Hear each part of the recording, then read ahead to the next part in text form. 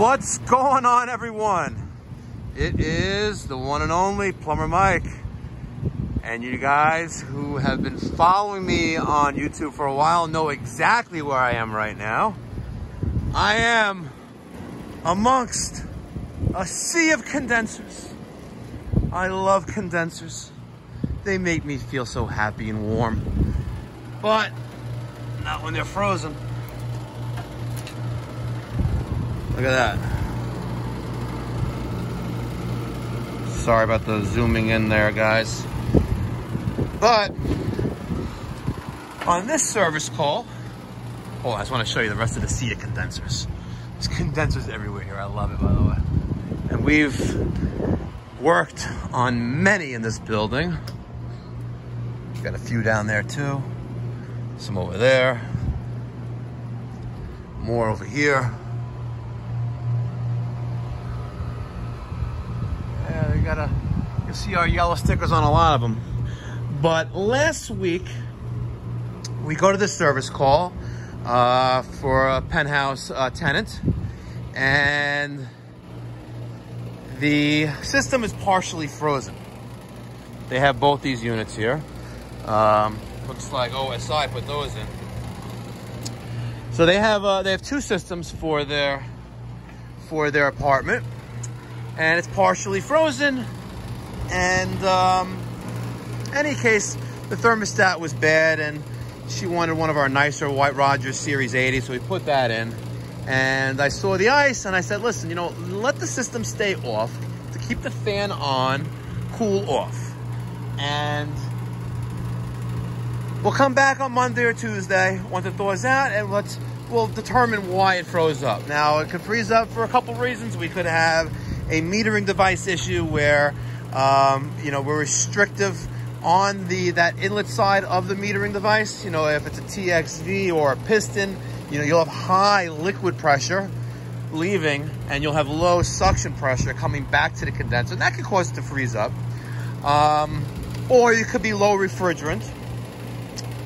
But there's one thing that I guess I neglected to do uh, while I was here last week, and that was to confirm that the system turned off.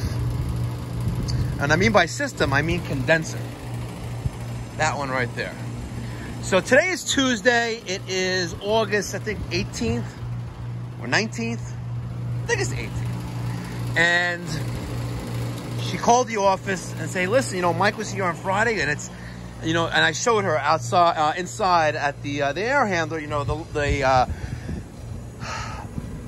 the three quarter inch pipe going into the air handler while she's leaving the air handler, coming back to the condenser with a little bit of ice there. I said, listen, when this thaws out, right, let us know, and we'll come back and check it out. But this morning she called the office, and it was still, it was still frozen, and I'm like, all right, so we head out over here. We're, we're now here back amongst the sea of condensers and the thermostat is off, sure enough, and there's that chunk of ice on that air handler, on that three-quarter uh, copper going into the uh, air handler, or leaving the air handler, sorry. The, the, the, the three, three quarter, uh, sorry, the, the three eighths is that's actually what's coming from the condenser going to the air handler, and the larger one, it's insulated, is leaving the air handler going back to the condenser. But it was frozen, so I'm like, damn, and the thermostat is off you know, I checked the I checked behind the thermostat, make sure my wiring wasn't messed up.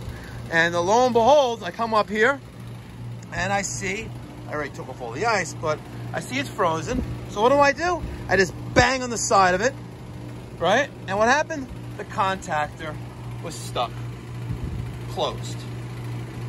So as soon as I banged on the condenser, the problem went away. The problem was condenser would not turn off. So, kind of odd since these were just installed last year. Can't, that's what the homeowner said at least. So, we're going to replace the contactor and I am 90% positive we're going to replace it any way you have to because that, that thing's stuck open. If it's stuck open once, it, it, it's suspect. Time for it to go. So we're changing out that contactor right there. And more than likely, the problem is going to go away. What was probably happening was the system would turn off. The, the thermostat would be satisfied. It would turn off close, I'm sorry, open Y circuit. Y is cooling. Um, but because of the stuck contactor, the condenser stayed running. And you're not going to have airflow inside, right? So the system will freeze up. And that's probably what happened here. So we're going to change out this, this contactor that was def that's defective and it's staying closed, right? Closed, circuit is closed, not open. Open is a broken circuit and the problem should go away. Hey, big shout out to Steven. He's coming up in the in the world learning amongst the SIA condensers.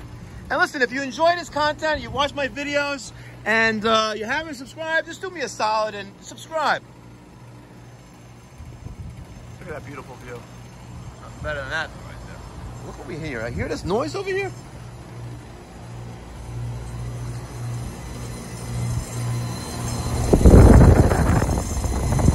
Yeah, that one sounds kind of shitty. I'm surprised this one's lasted so long. Anyway, if you haven't subscribed, please please can take a second and subscribe, comment, thoughts, feedback, criticism. You know where to write them down in the comment section down below. We're gonna change out this contact, a piece of cake, easy peasy, be on our way.